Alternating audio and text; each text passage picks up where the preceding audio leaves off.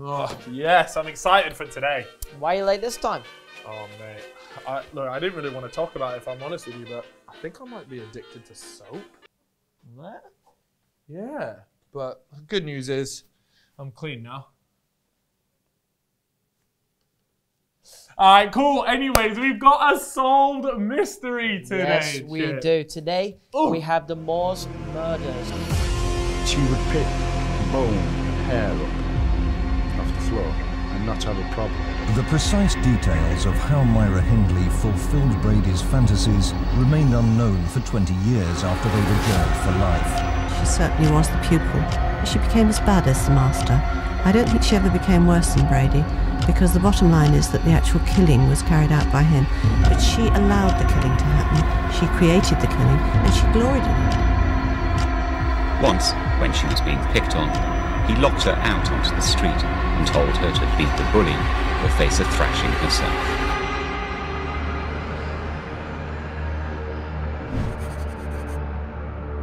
A series of murders conne- committed between 1963 and 1965 by Ian Brady and Myra Hindley. This one is as famous as it gets. Mate, I'm telling you, this is from your ends, by the way. Yeah, this, this is, is up in Manchester, right? Up in right? Manchester. This is where it's what we're known for. What you went home for. It's what we're known Oh, for. it's what you're known for. Sorry, accents and that. So I would say when I think of Manchester, I think of Manchester United, and then I think of the Moors murders. Like, those are the first two things that pop into my head. Thank you, mate. And then I also think that Chippo Crimes was actually born there, and that's where he spends most of his time with his uncle.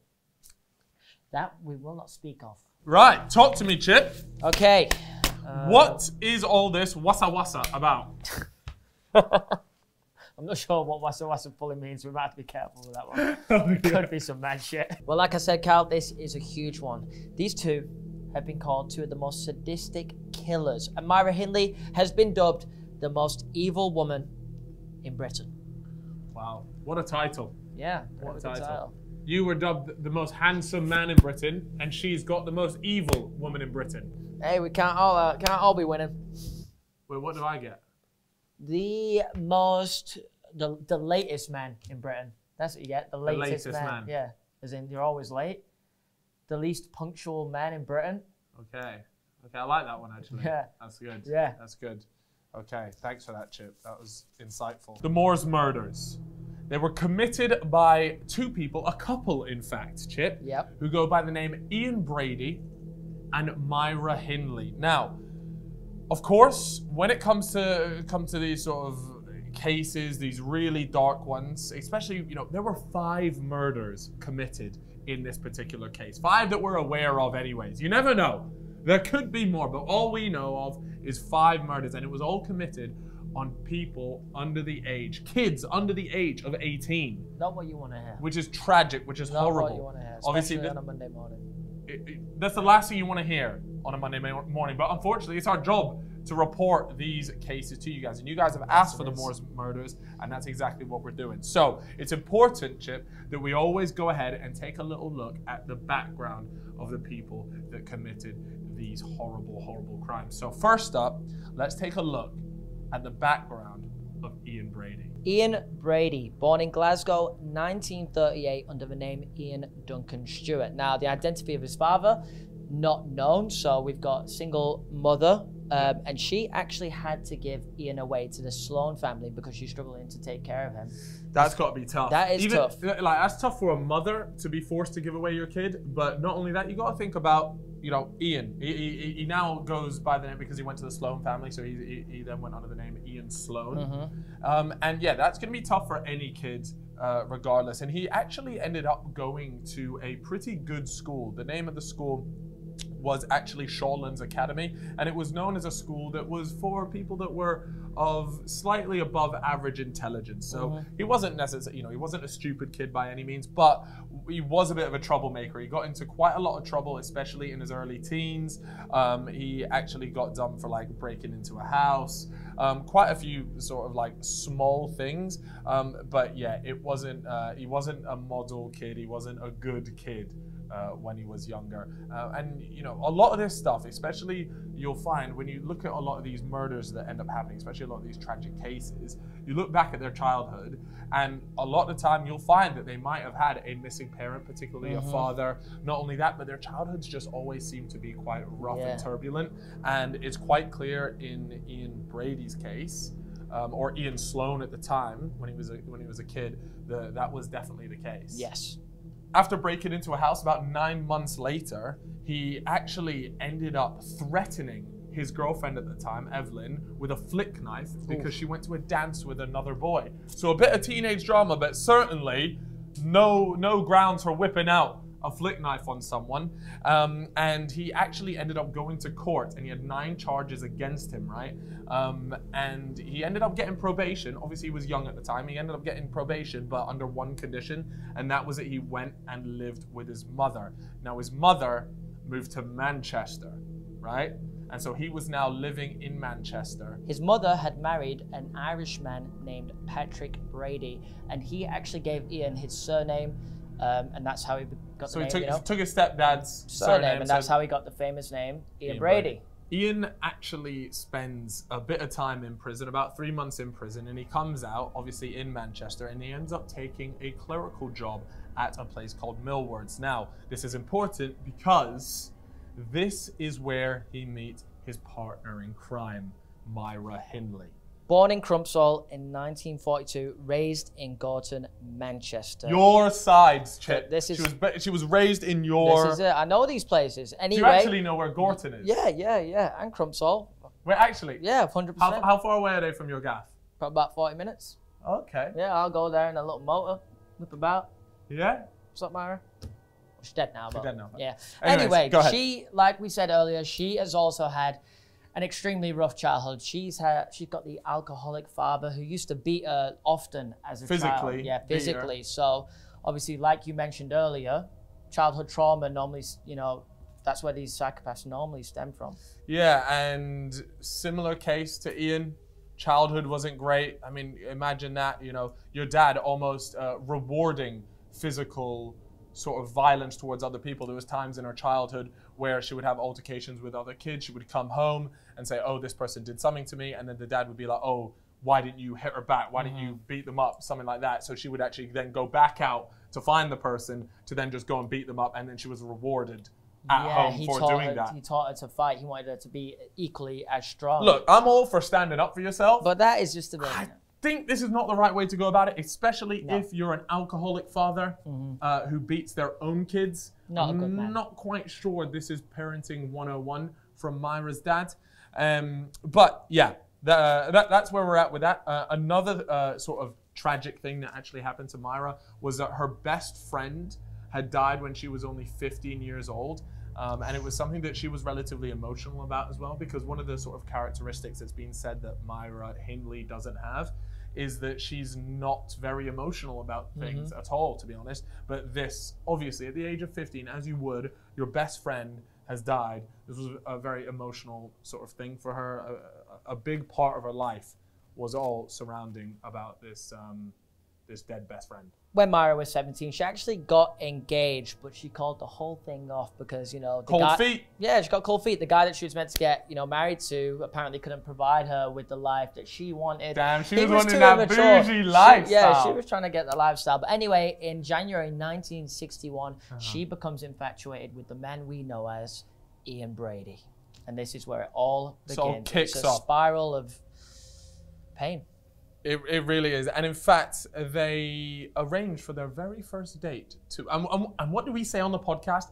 Uh, the worst date you could possibly go on is to the cinema. Yeah. And guess what? They went on their first date to the cinema. And Myra and Ian should have come to us for relationship advice. they should have done it. If they would ask, where, where where do we go on our very first date? We certainly wouldn't have told you the cinema. And who knows? Maybe if they took them, you know, for a little bit of, of you know, mini golf back then, whatever whatever was popping, yeah. This Could they might not be different. murderers. Yep. They might Could not be murderers. Yep. Their relationship was actually really sort of dark and twisted early doors because what they would actually do is they would share books on like Nazi practices and weird things that Nazis would do.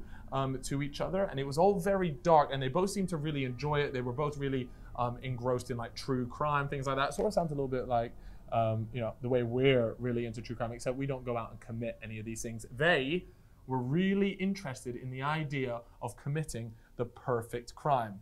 And another sort of slightly weird and disturbing uh, like fact or, or bit of info detail is that Myra Hindley was so into all these Nazi things that she ended up actually following that um, Aryan look, which is, you know, bleach Blonde hair. She had the red lipstick on. You know, these were two people that obviously connected over like dark and twisted stuff. And it doesn't surprise me that, you know, knowing it now, looking back at the time, knowing now, it doesn't surprise me that they ended up going down the route that they did, which is just horrific. Myra Hindley was actually interested in shooting and joined like a club, but um, Well, like a shooting club. yeah, um, but she wasn't very good. She had pretty bad aim and a bad temper, so that really didn't work out.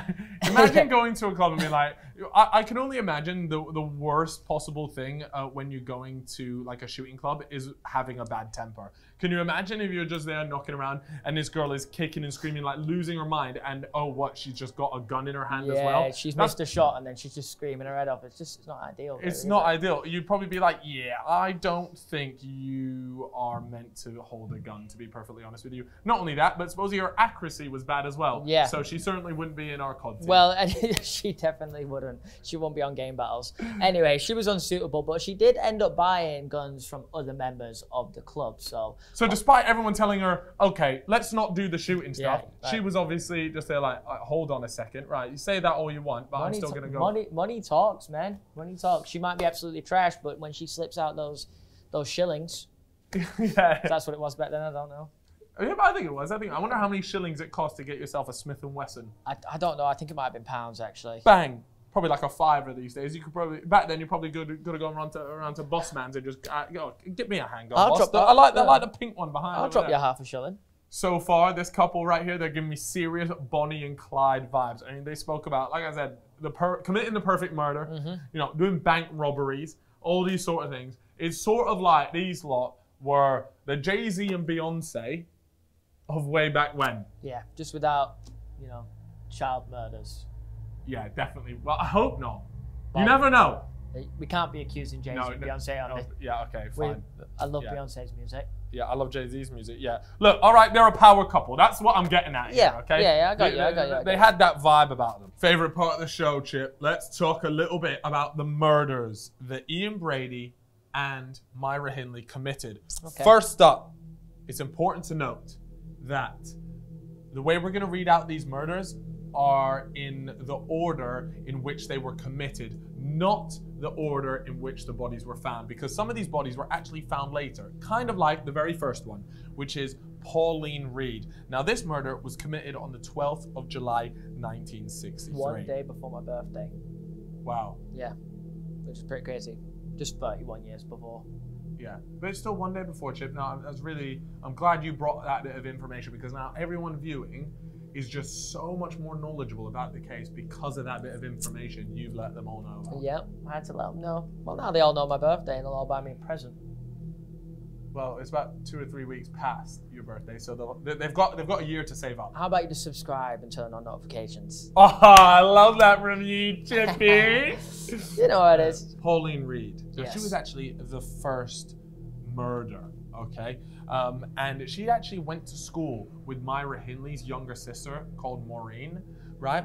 And Reade was going out with a fella named David Smith, who was actually questioned and cleared. But it's important to remember that name because later on, David Smith becomes a little bit more involved in the story. The way this murder was actually committed was Brady had instructed Hindley to go ahead and borrow a van and drive it. And what he would do, he was on a motorcycle, and when he would see a, a victim that he seemed suitable, Yeah. what he would do is he would flash his lights, and that way, Hindley knew to then pull over. And what he did was he approached Reade, who was only 16 years old at the time, and said, "Do you fancy a lift home?" Now, personally, my, my, my mom always taught me don't get in a car with strangers. But unfortunately, Hindley was just a little too persuasive. You know, good. It was, it was a woman. She was in a car by herself. Offers up a lift. look, it it doesn't seem that scary at the time, right? Um, and obviously, she decides to take her up on the offer. And once she gets in the car, she says, "Oh, would you mind coming and help me look for an expensive glove?"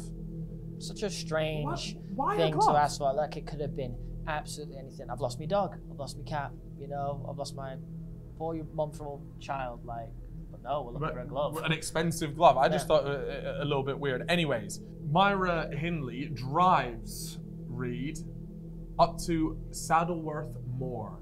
Okay, obviously that's where we get the name Moor Murders. Um, and what ends up happening is Brady says to the girl, "Right, let's go look for this expensive glove out and about out there." And unfortunately, what happens is he goes and kills Reade out out in the moors. And what he does is he then comes back to Hindley and says, "Do you want to come and see what I've done to her?" Essentially, he takes her over to the spot where she is, and you know, we try not to get too graphic here, but ultimately, you know, her throat was just completely Slit open. yeah, slit open. It was just a horrible sight. Not only that, but there was, uh, you know, reported that uh, there was sexual assault that was also uh, committed prior to her uh, being killed. So it was really like it was a brutal death. This isn't like you know just a, a really sort of I- I don't know. There's no nice way to die, but there's certainly more brutal ways, and this is uh, this is how they did it. After the attack, Brady actually buries her in the moor. Uh, and what, well, according to Brady, anyways, supposedly uh, Hindley wasn't there for the killing, but was there for the sexual assault. Um, but there are some conflicting um, Statements, statements yeah. about that, uh, and, and and some say that Hindley was actually just there for the full thing. So yeah, it's it's a bit up in the air. But yeah, like I said, was buried in the moor, and this is just the first of five murders. 23rd of November, we have John Kilbride, the next victim, only 12 years old. Now, this this had a big search involved. There was 700 statements, 500 missing posters printed, and 2,000 volunteers. It's a lot of volunteers. That's a And lot of manpower. That's a lot of volunteers. Again, it was a similar situation. They offered him a lift home. They promised him a bottle of sherry, but uh, he's 12 years old, which is a bit confusing. Anyway, Hey, look, hey, look. If someone offered me a drink, I, I, I probably would have taken it. You know. Oh, 100%. Well, anyway, they've told him that they need to stop off at home to get him the bottle of sherry. Right. And whilst driving, Ian Brady has suggested to John that, you know, they help look for this glove. This bloody glove again. s- same, story. Same thing again. So they take him out to the moors, and when they get there, Brady takes Kilbride out into the moors. Look, Uh, looking for this expensive glove. Yes, uh, is actually waiting in the van. Mm-hmm. You know, that's what they said before. Um, anyway, he tries to slit his throat, uh, ends up failing, so he strangles him with a shoelace. This, remember, by the way, guys, this is a 12-year-old boy. Yeah, Like, it's mental. Like, it's it's not. It can't even have been like a challenge. You know, it's just so horrific to even think about the idea of it. But what made them think as well that oh, we can get him into the van by offering him sherry, Sherry. alcohol, like like that. I don't know. It just it confusing What's to weird to me as well, and you know, throughout the entire thing is why is it always kids? Did they, have they? I guess like, they must have had some up- obsession. Obviously, with a child as well, it's very easy to overpower. To it's very easy to trick. You know, if I came up to 21 year old Cal Freezy in the street and I said, Yo, Chief, like, get in my van. I got a bottle of sherry for you. You know what? Maybe you would get. Yeah, for the bottle of sherry, maybe. But uh, for, for, I know what you're like. Yeah, for offering me a lift home, no thanks. I'll just get an yeah, Uber. like, But I get what you mean. Like when it's with children, it's very, easy to yeah, convince very them. Very naive. Very easy to overpower them. But it just, I don't know. I just, i i- are those really the reasons why they did it? Anyways, 16th of June, 1964. Again, what you, what I kind of notice about these murders, uh, by the way, is that they all seem to be like a six-month Yeah. difference in it. Is, is it like a cooling off period? Yeah, like a little break, like, you know. they could just be waiting for like the investigation to completely die out, let a bit of the interest cool off because maybe if they were too close, it would just be like it would cause too much of a a stir. So the six months difference makes it seem like it might not always be the same person because ultimately, like these kids are going missing. The police are not finding these bodies to attach like a death to it, right? Yeah, so if so they, they were finding know. these bodies, they might be like, oh, there's a serial killer on this, but they're not. They're just missing. Right? Yeah. The kids are just going missing. So this six month cooling period is kind of interesting that that's the time frame they've decided to do it in. But anyways, like I said, 16th of June, 1964, a kid called Keith Bennett. Now, in this particular case, it was actually his stepfather, Jimmy Johnson, who was their main suspect. The police were like, yo, this guy is looking like he might be the guy. And they actually brought him in four times. But as we know now, it wasn't the stepfather. It was, in fact, of course, Ian and Myra. Okay? Now, how did they do this particular murder? Well, it's not actually that much different from the previous ones. Again, in this particular murder, it, it, it, they all seem to be following this same story, the same path. This particular time, obviously, Keith Keith Bennett, he's only 12 years old. He's uh, he's been asked by Myra Hindley again, who seems to be the one sort of enticing everyone. She's obviously it's a woman. You would trust a woman a little Friendly, bit more. friendly Yeah. face, yeah. Yeah, and uh, you know, I'm not too sure if it was Ian Brady, maybe these kids would be like, "Whoa, stranger danger." Yeah. But with a woman, you're probably more likely to to help out. And she says to Keith Bennett, "Hey, I'll give you a lift home." Obviously, it's the same story again, Chip. They've they pulled out the bloody lost glove once again, and they said, come help me look for it in the moor. They've gone out to the moor, and of course, Ian Brady has gone and killed and sexually assaulted that poor kid, Keith Bennett, again. Boxing Day, 1964. So not not a great not a great Christmas here. Mate, mate, this is not what you want during No, Christmas time. Lesley Ann Downey. She disappeared from a fun fair in Ancoats. Now, there was a massive search afterwards, of course. They found nothing. Now, it's a little bit different to the previous murders, the way they've Mm-hmm. done it. They have approached her.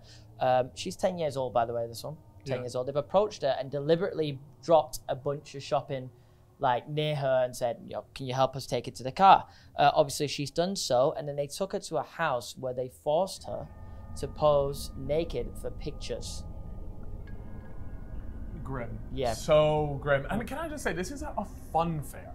Like, how how twisted and sick do you need to be to go to a fun fair to deliberately trick Yeah. a 10 year old kid? Well, it's an easy place to obviously pick up a child. Obviously. Anyway, after they've made a post of those pictures, she has been sexually assaulted and murdered. But it's different because she's been murdered at the house this time. Right, okay. So the next day, they've taken her out to the moors and they've buried her there. So same place. Yeah. Obviously, they think that's a great spot for hiding the bodies. Yeah.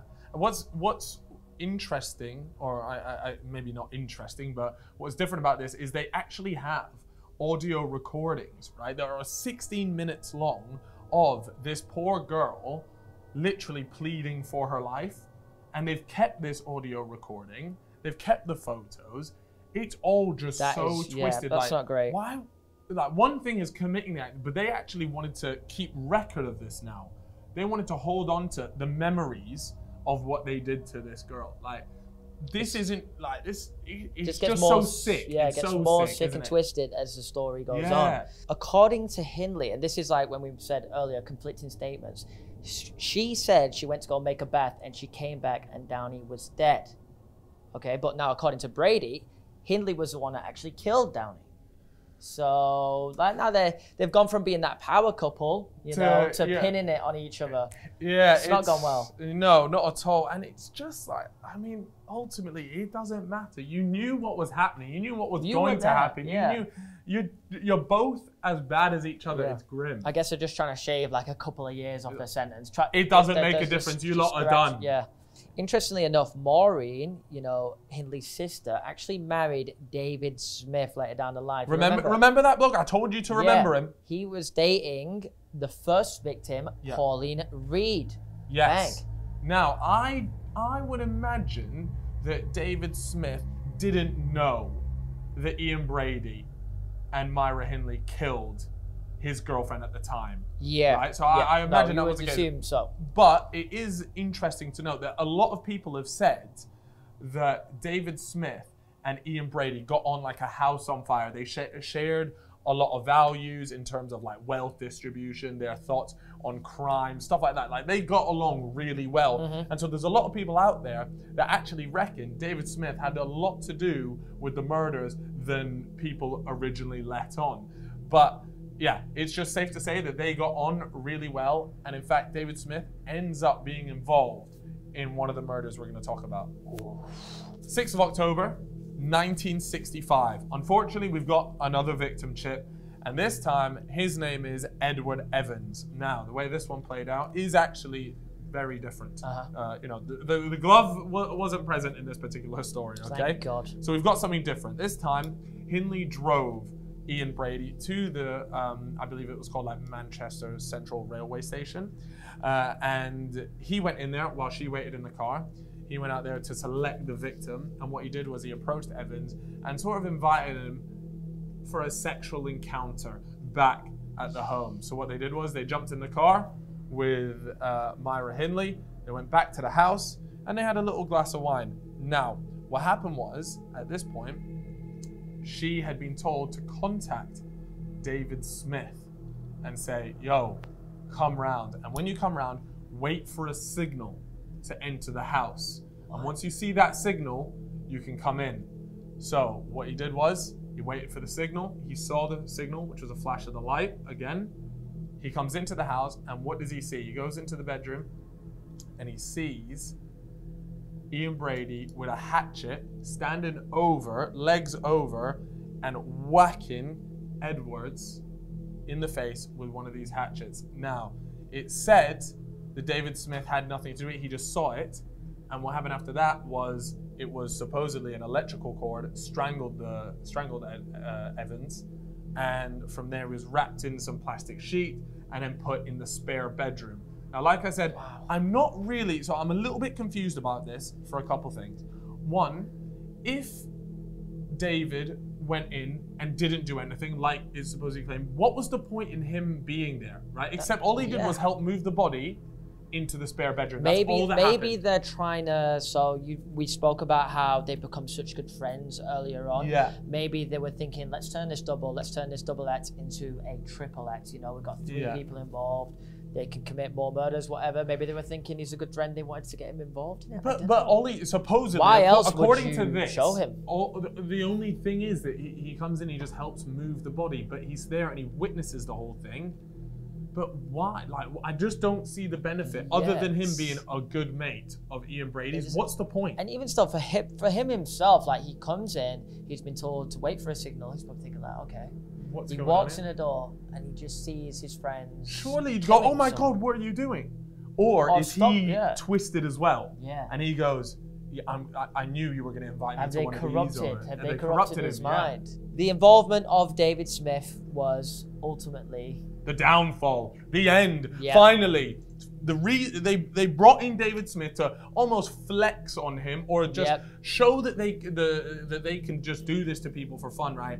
And finally, it's the reason it brought the world they down. got on them. caught. Anyway, so David Smith he comes back the following day with a pram, and this is to transport Evan's body uh, to a car so they can take it to Saddleworth Moors. Any, I so- wonder why why did why did they always want to bury them all in the Well, the Saddleworth? Moors, you know, I've been there. This place, Yeah. it's a, it's an open place. It's you know, Is it's, it, a- is it haunted as it's well? wild plains. I mean, it could be haunted now. So you know, awful things have happened there, and What's it like? Like describe the place to me. it's it's a place, pretty scary place to drive through at night. Is it big? Is it just like loads of? It's big open plains, you know. Oh, It's a great it's a great place to bury a body, obviously. Okay. Anyway, uh, he goes home at 3 a.m. and he actually throws up. Uh, he tells his wife everything that happens, and it's He's not built for it. Like he's not built two. for it. You know, this isn't him. Yeah. You know, I think he's seen this stuff and he's gone, I actually can't hack this. He's almost had, what do you call it? Like an epiphany, not an epiphany, but just one of those moments where he's gone, this is actually so tapped. Well, I mean, I, you'd, th- you'd think he would have said that when he saw Ian with a hatchet, but either It, took- way. it took until the next day. Yeah, anyway, so at 10 past 6 in the morning, three hours later, he Yeah. calls up the police from a telephone box. He actually took a screwdriver with him just As for protection. Yeah, just so for, this man was clearly shaken up yeah, by he's everything scared. seen. He's obviously seen all that and he's thinking, oh, I could be in trouble. Anyway, the police pick him up and they take him to Hyde Police Station. The police actually decided to take some action. Okay, so Good tu- stuff. Yeah, so they've Immediate action. We love to see it. Hundred percent. They've turned up to the couple's house and we've actually dressed up as a bread delivery man. So you Okay. know, they're going undercover. All right, I Sleuths, that. Yeah, uh, they've turned up. They've asked Myra if her husband is home. They've invi- they've been invited into the house, and Ian Brady is sat there, and he's actually writing a letter to his employer about an ankle injury. Now, you're wondering, well, why have you put that little detail in there? Well, because according to David Smith, he had actually rolled his ankle while he was killing Evans. So, you know, only a couple days later, he was there like, yo, I need the time off work. I've done my ankle in. You know, maybe he's thinking, complete cat. super. Well, no, he did do his ankle in, but Oh, yeah, it, it, it, it wasn't five aside or anything. No. no, it, it was it, it was him killing someone. Yeah, no. Um. So yeah, I mean, it, it's interesting that that little detail was left in there. The police actually told the couple that they were investigating uh, an issue the previous night involving some guns. Uh, Gun violence. Yeah, gun violence. Hindley's told the police that they know uh, nothing of it. Um, they've let the police view the house, go looking over everywhere. Take a look at the crib. Nothing has happened here. Welcome, MTV Cribs. You know, Myra and. Yeah, welcome to my crib. anyway, there was one thing though. Uh, a locked spare bedroom, like you mentioned before, because that's where they put the body. Mm-hmm. Anyway, Myra's told the police that uh, she's left the key at work. Now, the police have offered to take. Uh, okay, then ju- jump in the way. yeah, the police. Let's go get the police the have said, "Let's go get that." But anyway, Ian says, "You know, hand over the key." Yeah. He's just kind of, you know. I wonder why he's done He's just uh, he's coughed up the key pretty easily. Obviously, you know, the police have gone into the room, seen everything, and Uh, uh, uh, Ian Brady, mate, uh, you've got a, a dead body in here. yeah. Anyway, so they've taken Ian. They arrested him. Yeah, they've gone downstairs and arrested Ian for the suspicion of murder. But Actually, Chip, Mm-hmm.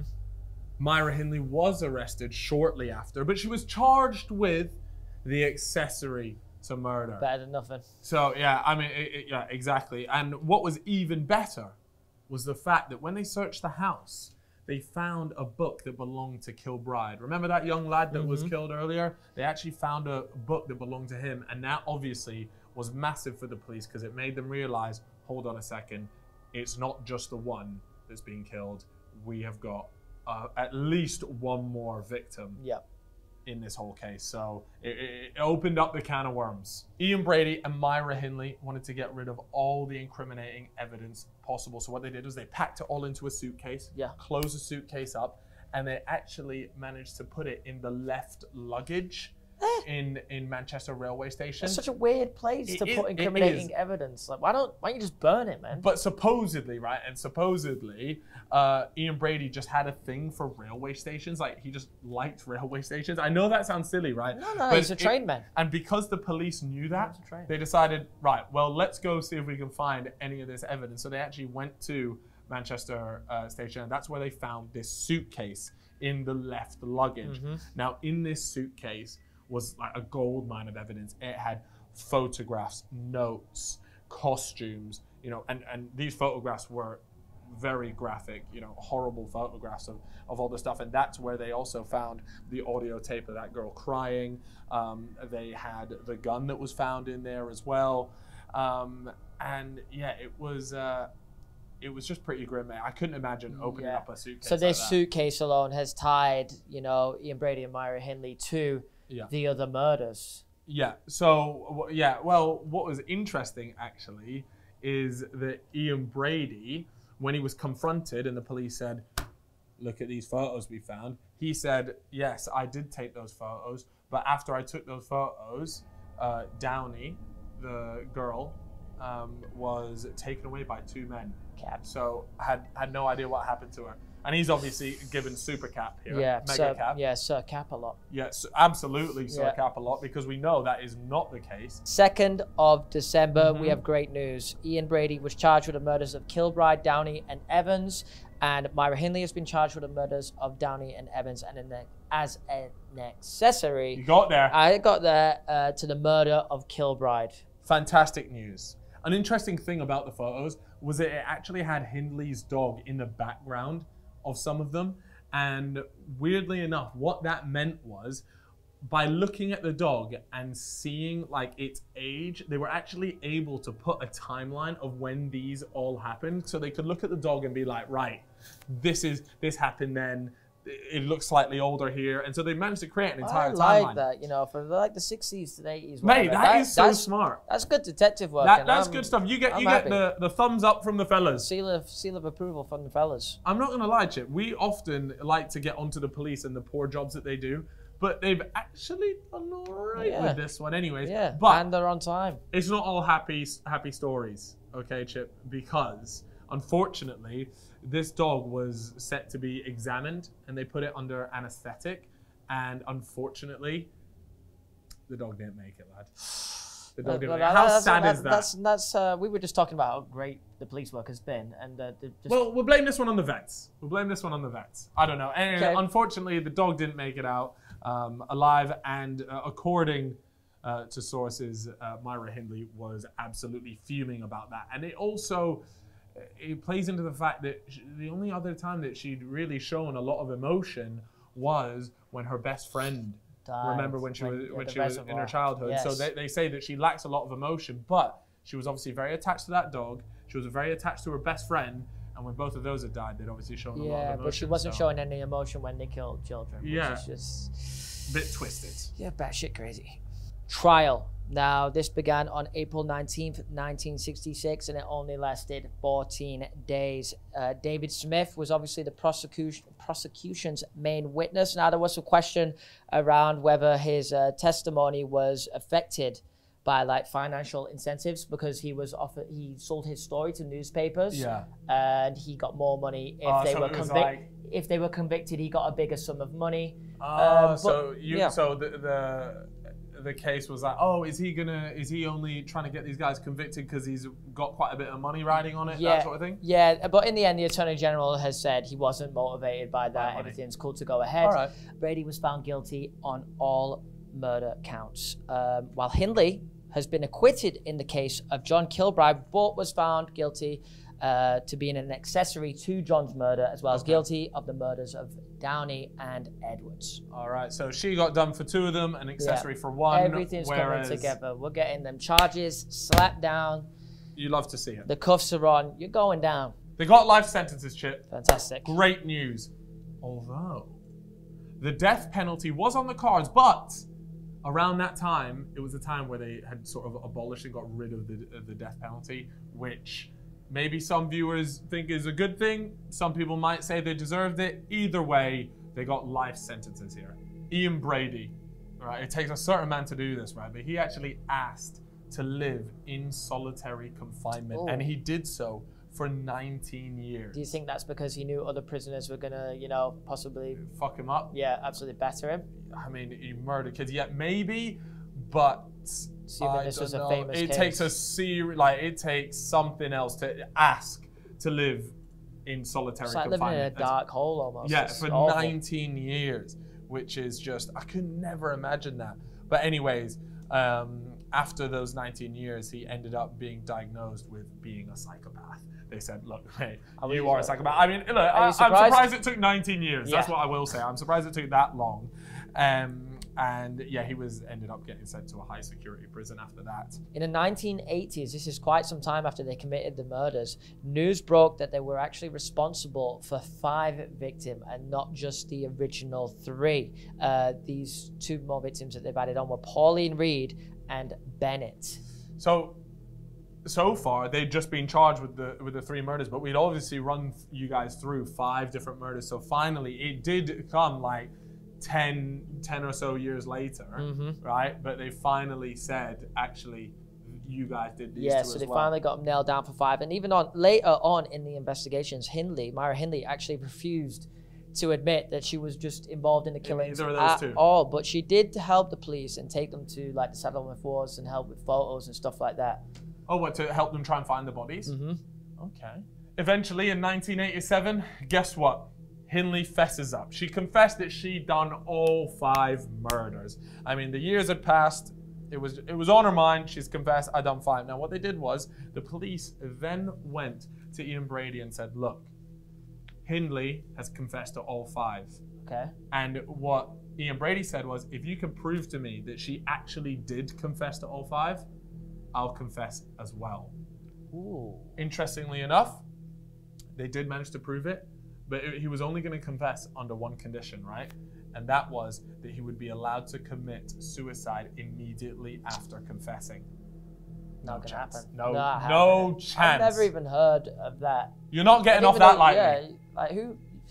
I've never heard of that being asked for when like Mate, the guy, like we said, this guy was a psychopath. He had a lot of things wrong with him. yeah. But he obviously wanted the easy way out here. Oh, 100 percent. You know, he couldn't deal with what he'd done. Yeah.